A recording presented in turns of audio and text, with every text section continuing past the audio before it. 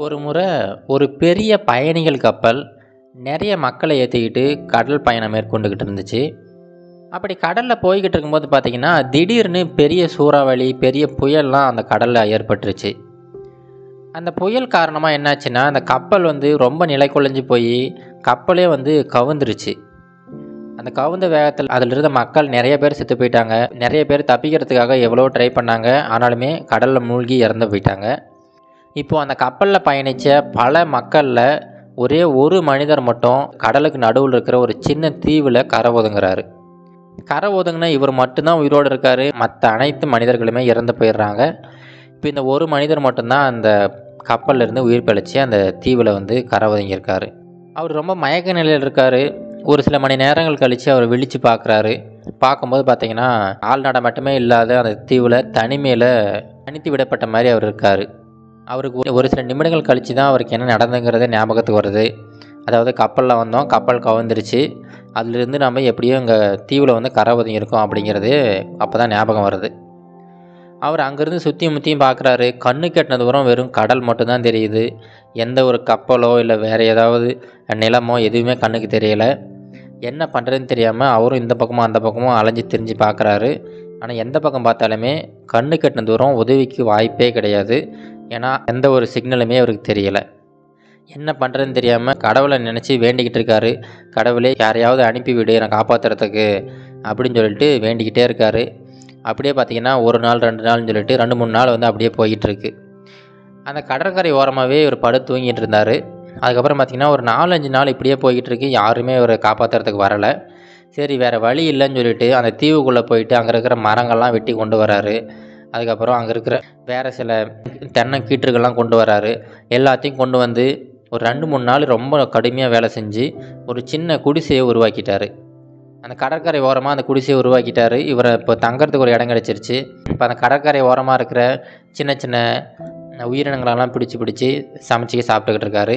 இப்போ சமைக்கிறதுக்கு நெருப்புமே அவர் வந்து உருவாக்கிட்டார். இப்போ அவர் அடிப்படையாக தேவைப்படுற உணவு தங்குறதுக்கான இடம் எல்லாமே கிடச்சிருச்சு. ஆனாலுமே அதை வச்சுக்கிட்டு ரொம்ப நாள் அங்கே உயிர் வாழ முடியாது. எப்படியாவது என்னை காப்பாற்றுறதுக்கு யாராவது அனுப்பிவிடு கடவுளேன்னு சொல்லிட்டு தினமும் வேண்டிக்கிட்டே இருக்கார். இப்படியே பார்த்தீங்கன்னா ஒரு சில மாதங்களே போது அவருக்கு வந்து கொஞ்சம் கொஞ்சமாக நம்பிக்கை இழக்க ஆரம்பிச்சிட்டாரு. ஏன்னா அந்த தீவு வந்து எந்த இடத்துல இருக்குன்னே தெரியலை. அதனால் மக்கள் இந்த இவர் இந்த இரண்டு மாதங்களாக பார்க்குறாரு இவர் கண்ணு கட்டின தூரம் எந்த ஒரு கப்பலுமே அந்த வழியாக வந்து கிராஸ் ஆகலை.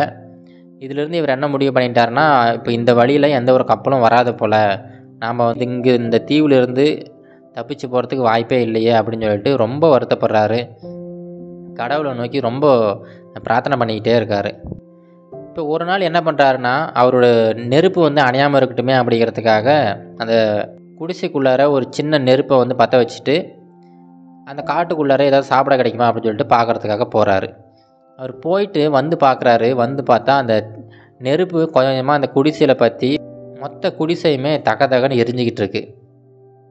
அப்படியே அந்த இடமே பார்த்தீங்கன்னா அப்படியே புகை மண்டலமாக இருக்குது இவருக்கு வந்து ரொம்ப பெரிய ஒரு கோபம் கடவுள் மேலே.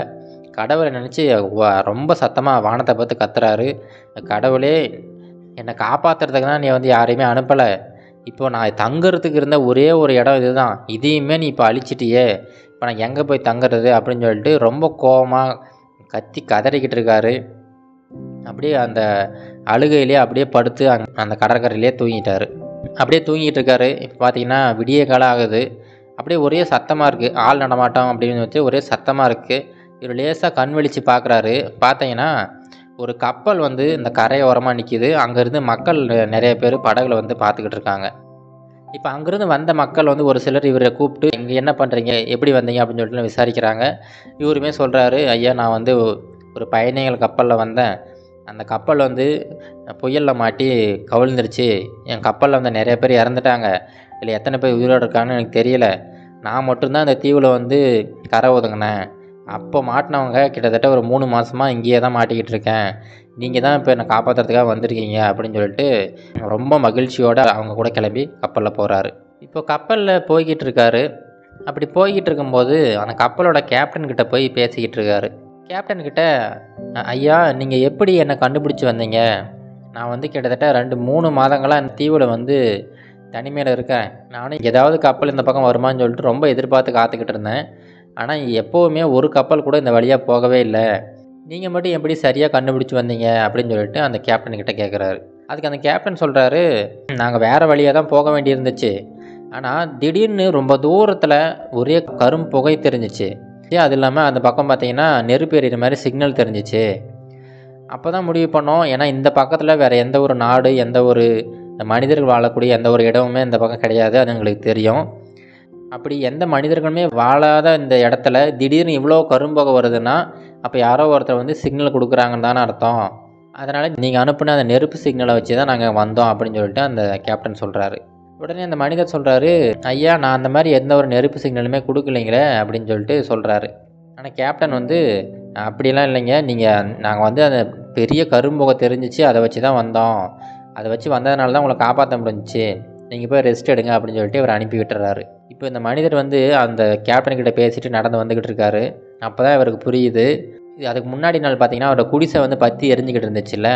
அந்த குடிசையிலேருந்து வந்த நெருப்பு அந்த நெருப்பு காரணமாக உருவான அந்த கரும்புகை இதுதான் வந்து இந்த கேப்டனுக்கு ஒரு சிக்னல் மாதிரி தெரிஞ்சிருக்கு. அந்த சிக்னலை பார்த்து தான் அங்கே இருந்து அவங்க கிளம்பி வந்து இவரை காப்பாற்றியிருக்காங்க இப்போ இவர் மறுபடியும் கடவுளுக்கு நன்றி சொல்கிறாரு கடவுளே நீ செஞ்ச இந்த செயல் வந்து எனக்கு தவறப்பட்டுச்சு ஆனால் இப்போ வந்து அந்த செயல்னால தான் நான் காப்பாற்றப்பட்டிருக்கேன் ரொம்ப மகிழ்ச்சி அப்படின்னு சொல்லிட்டு கடவுளுக்கு நன்றி சொல்லிவிட்டு அந்த கப்பலில் போய் ரெஸ்ட் எடுக்கிறாரு.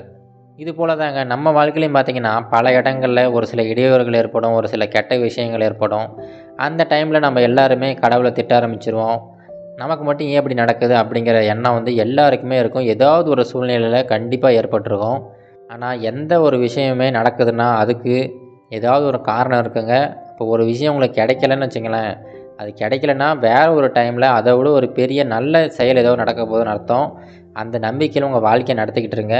சின்ன சின்ன ஏமாற்றங்களுக்கெல்லாம் நீங்கள் வந்து ரொம்ப வருத்தப்பட்டுக்கிட்டு உங்களை டைமை வேஸ்ட் பண்ணிக்கிட்டு இருக்காதீங்க.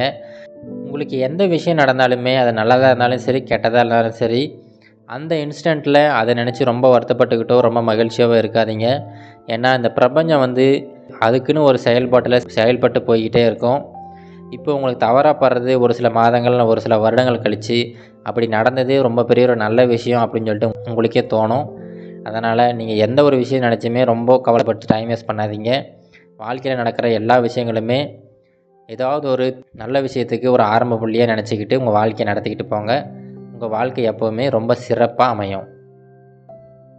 இது கரேஜ் டு ஆக்ட் மோட்டிவேஷன் கதைகள்.